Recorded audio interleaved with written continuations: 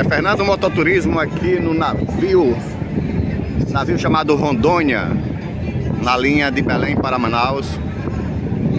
E a noite hoje está escura, viu? Ó, bem escura mesmo.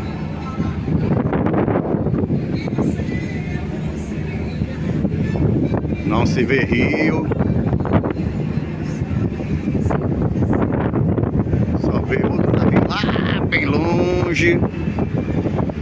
Não se vê as margens. Não se vê nada. Mas a luazinha tá lá em cima. Olha lá, olha a lua lá. Valeu?